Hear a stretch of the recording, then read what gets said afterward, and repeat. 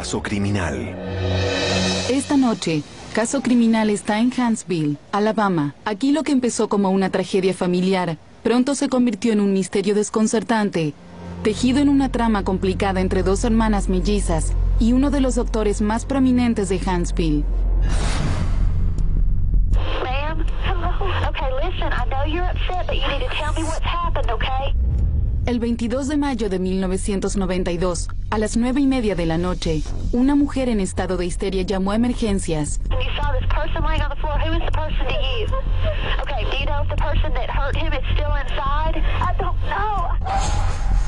Cuando Betty Wilson regresó a su lujosa casa, descubrió a su esposo, el doctor Jack Wilson, tirado sobre un charco de sangre. Escapó del lugar en un ataque de pánico. Cuando llegué a casa, descubrí el cuerpo de Jack. Estaba aterrada. Era como si alguien me acechara. Lo sentí en la oscuridad y escapé. Y lamento haberlo hecho. Hubiera querido poder ayudar a Jack. Hubiera querido acompañarlo. Pero Betty no tuvo esa posibilidad. Su esposo estaba muerto. Cuando llegó la policía empezó a procesar la escena del crimen. Descubrieron que el doctor Wilson aparentemente había sido apuñalado y golpeado. Um, recibió un ataque salvaje y brutal. El doctor Wilson recibió dos puñaladas. Los detectives encontraron también un bate de béisbol junto a su cuerpo. El doctor Wilson tenía huesos rotos, por lo que recuerdo el antebrazo y el codo. También tenía un diente roto, probablemente como resultado de un golpe con el bate. Los investigadores en un principio sospecharon de un intento de robo fallido. En ciertos aspectos el ataque parecía un asalto inducido por drogas en los que se registra mucha brutalidad y un exceso de fuerza.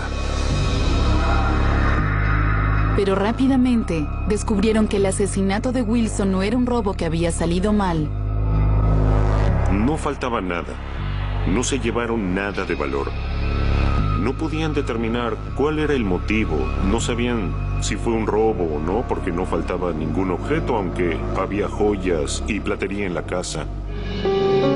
La casa de tres pisos de los Wilson estaba llena de objetos costosos, pero lo único que faltaba era una pistola calibre 38.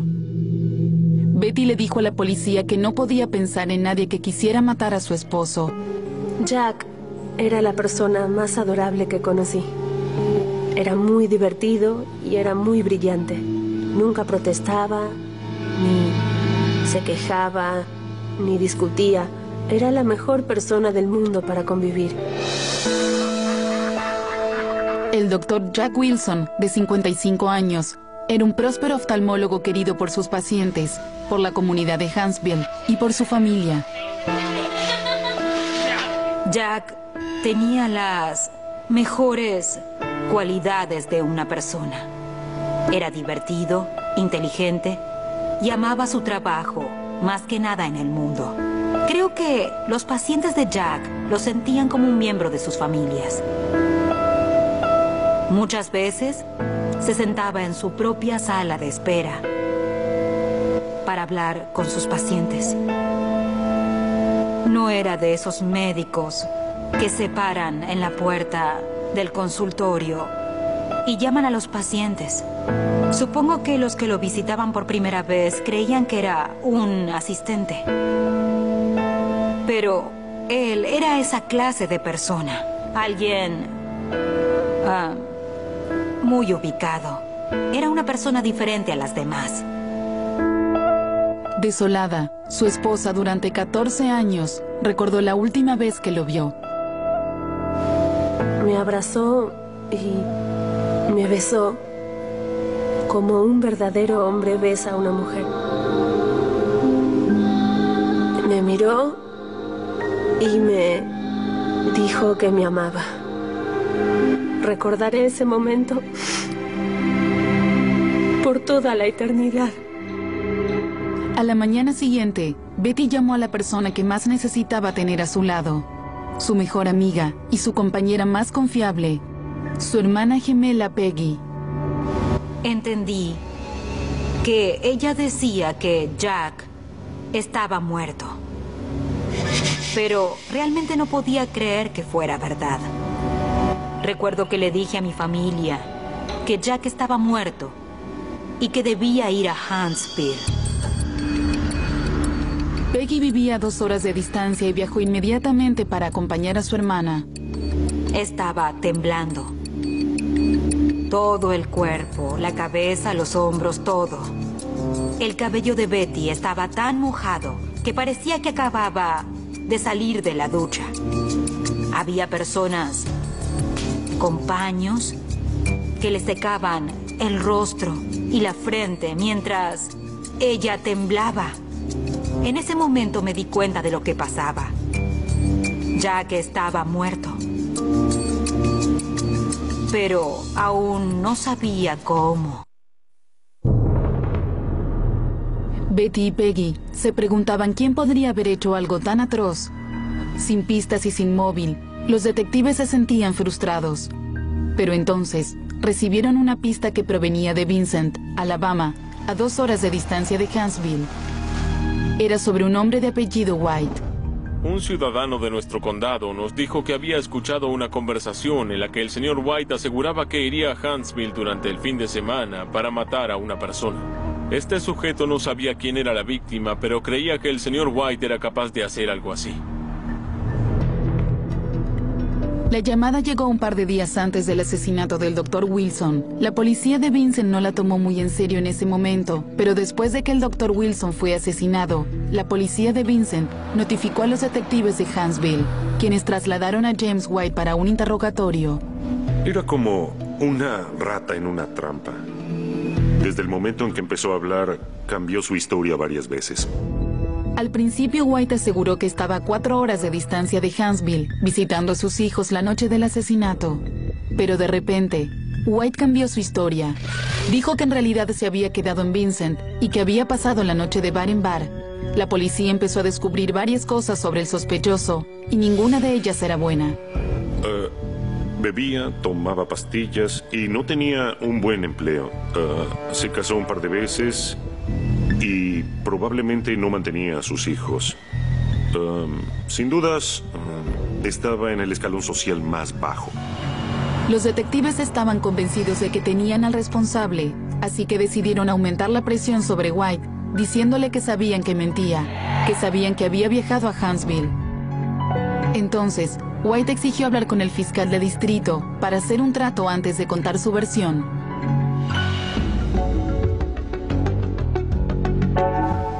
Y mientras la desconsolada viuda Betty Wilson velaba los restos de su esposo, los detectives dejaron al posible sospechoso bajo custodia. Pero él se negaba a hablar a menos que pudiera hacer un acuerdo con el fiscal de distrito. Finalmente, la fiscalía aceptó eliminar la sentencia de pena de muerte para el caso de White, pero solo si él primero confesaba todo lo que sabía sobre el asesinato de Jack Wilson. White empezó a hablar. Admitió haber asesinado al doctor Wilson, pero aseguró que lo había hecho para cumplir con un contrato que había firmado con la esposa del doctor Wilson, Betty. Fue un giro increíble de los hechos, una confesión dramática y una acusación todo en uno. White dijo que quien lo había contratado como sicario no era otra más que Betty Wilson. Y eso no era todo. Según White, todo el plan estaba ideado por la hermana gemela de Betty, Peggy. Los detectives confrontaron inmediatamente a las mellizas con las declaraciones de White. Sabía que no era cierto. Betty no está loca. Y no entendía por qué dijo algo así. Conozco a Peggy de toda la vida. No es capaz de algo así. Es muy dulce y generosa. Una persona adorable. Las dos hermanas insistieron en su inocencia, pero los investigadores estaban convencidos de que mentían. Desde el principio, pensaron que la escena del crimen encajaba con el perfil de un asesinato por encargo. Los detectives mintieron y le dijeron a cada hermana que la otra había confesado. Sabía que eso estaba totalmente fuera de dudas. Sabía que mentían, porque no podía ser verdad. Su hermana Peggy tuvo la misma reacción. Sabía lo que decían. Escuchaba lo que decían. Pero no podía internalizarlo. Así que cuando escuché lo que dijeron, lo único que pude decir fue, eso es imposible. Después de que me dijeron que Peggy había confesado, me informaron que vendría un perito a hacerme una prueba de polígrafo, pero que las cosas serían mucho más fáciles para mí si confesaba antes de que él llegara. Les dije que podían traer al hombre del polígrafo. La prueba del polígrafo no se hizo. Era solo parte del intento de quebrar a Betty. Descubrir que ambas eran las sospechosas principales del asesinato del esposo de Betty las dejó en estado de shock. Pasé la noche pensando. Me despertaré. Me despertaré de esto. Era apabullante. Era más de lo que yo estaba preparada para poder soportar. ¿Pueden imaginar lo que es que alguien te acuse de homicidio? Terriblemente impactadas por la acusación, las hermanas encontraron consuelo una en la otra, igual que siempre lo hacían desde que eran niñas. Éramos inseparables. Nos queríamos mucho porque éramos una parte de la otra. Hablábamos el mismo idioma y pensábamos en forma muy similar. Nacieron con solo 12 minutos de diferencia y mientras crecían, las mellizas hacían todo juntas. Éramos muy unidas. Dormimos en la misma cama. Hasta que fuimos tan grandes que los pies de una golpeaban el rostro de la otra. Estábamos en la misma clase. Pero cuando empezamos la preparatoria, empezamos a cambiar de materias. Esa fue la primera vez que estuvimos separadas durante algunos periodos de tiempo. En la secundaria, Peggy fue reina de belleza y Betty actuaba en obras escolares. Aún en la etapa adulta, sus vidas se parecían llamativamente. Ambas se casaron con sus primeros esposos en 1964 y seis años después, las dos se divorciaron. Luego, en 1976, Betty le dijo a su gemela que había conocido al hombre de sus sueños, el Dr. Jack Wilson. Betty se graduó como enfermera y lo conoció en el hospital. Me llamó al día siguiente para decirme que estaba enamorada. Dos años después, Betty y Jack se casaron. Cada uno de ellos tenía tres hijos de otro matrimonio. Con la próspera carrera de Jack como médico, la fastuosa casa de tres pisos y la gran familia ensamblada, la feliz pareja parecía tenerlo todo. Y aún después de 14 años, se mostraban tan devotos uno del otro como el primer día. Nuestra vida era maravillosa. Lo teníamos todo, en muchos, muchos sentidos. Pero ahora, esos recuerdos felices parecían estar a una vida de distancia, ya que estaba muerto y las mellizas estaban acusadas de haberlo asesinado. Si las hermanas pensaron que solo se trataba de una pesadilla, estaban totalmente equivocadas. Pocas horas después de que las liberaran, los investigadores registraron la casa de su acusador, James White, y encontraron unos zapatos manchados con sangre. Luego, hicieron otro descubrimiento. El hallazgo principal en la casa de White fue una pistola que apareció debajo del porche de entrada de la propiedad en la que él vivía. Y esa pistola era la que pertenecía a, a Betty Wilson. White aseguró que las mellizas le habían dado la pistola de Betty para que la usara en el ataque. Incluso les dijo exactamente dónde se había realizado la entrega, a unos 10 kilómetros en las afueras de Vincent, Alabama. James White dijo que ah, había recibido la pistola en un intercambio en el estacionamiento de una represa, la represa Logan Martin. Los detectives verificaron la historia y revisaron la ubicación de las hermanas el día que White dijo que le habían entregado el arma. Pudimos comprobar que el día en que él dijo que se la dieron, Peggy y Betty rentaron una película en una tienda de videos a unos tres kilómetros de esa represa. Estaban ahí, estaban en esa zona ese mismo día. Y cuando cada uno de los detalles que daba White parecía ser exacto, empezó a ganar credibilidad frente a los detectives. A continuación explicó por qué había usado un bate para golpearlo, en lugar de usar el arma de Betty. Se suponía que debía dispararle al Dr. Wilson. Pero en el momento de cometer el crimen, eh, dijo que sintió miedo de que el ruido del disparo de la pistola pudiera llamar demasiado la atención. Hasta ese momento, la historia de White parecía estar sincronizada con la evidencia. Pero las hermanas negaban haberle entregado el arma a White y le dijeron a la policía que él debió haberla robado de la casa la noche del asesinato. Él la tomó cuando entró en nuestra casa. Lo descubrí por las fotografías que tomaron después del hecho. El estuche de mi arma estaba abierto y yo jamás dejaría abierto el estuche de un arma. El caso era una serie de él dijo, ella dijo, ella dijo. Con su declaración de culpabilidad aún pendiente, White fue arrestado y acusado de homicidio, pero los detectives seguían convencidos de que las hermanas estaban detrás del asesinato y estaban decididos a demostrarlo. La policía revisó la historia del asesino confeso James White. Él declaró que había sido contratado como sicario por Betty Wilson y su hermana Peggy Lowe. Ahora la policía quería saber si esa historia era cierta y si podían armar un caso contra las hermanas. Los detectives interrogaron a Betty sobre su matrimonio y de inmediato descubrieron que no era la unión perfecta que parecía ser. Ella les habló de un punto de inflexión en su relación. Un día me enfrentó y me dijo que lo estaba sofocando. Me dijo que me buscara un amante, que tuviera una docena de aventuras, pero que no lo sofocara. Me dijo que eso es lo que hacía la gente casada. Quedé devastada.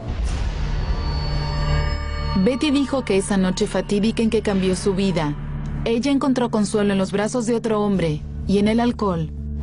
Bebía en casa por las noches. Pero ese consuelo no duró demasiado. El alcoholismo y la infidelidad pronto empezaron a salirse de control. Fue por el sexo. Pero después ya no se trataba de eso. Buscaba la atención de un hombre, que me quisieran, ser deseada. Era una forma inmadura de vivir, pero era una parte importante de mi vida. Finalmente, Betty descubrió que el alcohol no llenaba el vacío en su vida y le confesó a su hermana que tenía un problema y que necesitaba ayuda. Me dijo que estaba, en verdad, muy cansada de sentirse enferma y agotada. Empezó a ir a Alcohólicos Anónimos. Ella iba por lo menos dos veces al día. El alcoholismo de Betty pudo haber terminado, pero sus romances continuaban. Betty asegura que su matrimonio tan poco convencional derivaba de la personalidad extravagante de Jack. Vivía tan aislado del mundo. En su testamento decía, no abrir excepto en caso de emergencia. Ese era Jack Wilson. Cuando los detectives interrogaron a Betty, le pidieron detalles sobre el testamento de su esposo. Bueno, por supuesto todo me correspondía.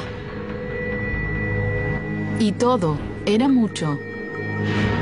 Betty fue designada como única beneficiaria de la fortuna de 6 millones de dólares de su esposo.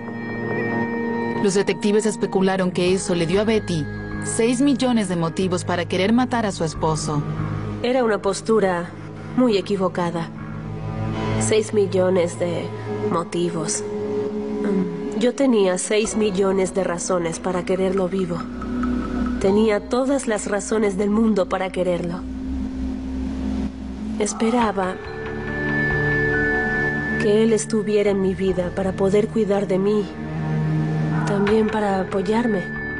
Pero los investigadores pensaron que el matrimonio abierto de los Wilson era una receta para el divorcio y un motivo para el homicidio. Ella tenía un estilo de vida lujoso. Autos costosos, abrigos de piel, diamantes, ropa de diseñador. Um, y podía tener aventuras sin que la cuestionaran. Y ese estilo de vida se debía en gran parte al hecho de que en cierto punto, eh, sin dudas, el doctor Wilson necesitaba un espacio. Si se hubieran divorciado, las cosas no hubieran sido favorables para ella en la corte. Su motivo desde el principio fue que aunque lo tenía todo, ella quería más y lo quería ya. Si el móvil del homicidio para Betty era el dinero, ¿cuál era el móvil de su hermana gemela Peggy? Recuerden que el asesino confeso James White dijo que Peggy era la mente maestra detrás del complot. Peggy y su esposo eran maestros en la misma escuela, en donde White trabajaba a veces haciendo reparaciones. Ella asegura que lo único que hizo fue tratar de ayudar a White durante una época difícil. El señor White me dijo que su esposa le pidió el divorcio, que se volvió a casar y que se llevó a sus hijos. Y también que necesitaba trabajar para poder recuperarlos. Así que le dimos trabajo en nuestra casa. Estábamos construyendo una casa y él se mudó allí antes de que estuviera terminada. Había muchas cosas que él podía hacer en esa casa. White declaró que se enamoró de Peggy, la ex reina de belleza. Tuvieron relaciones sexuales. Estaba obsesionado con... uh, con Peggy Lowe, la hermana de Betty. Estaba loco por ella y ese fue claramente el motivo por el que aceptaría hacer cualquier cosa para complacer a Peggy. Pero Peggy insistía en que las afirmaciones de White eran mentira. Esa era solo una más de las tantas ridiculeces que escuché. En este momento me pasan muchas cosas por la cabeza. No puedo decirlas.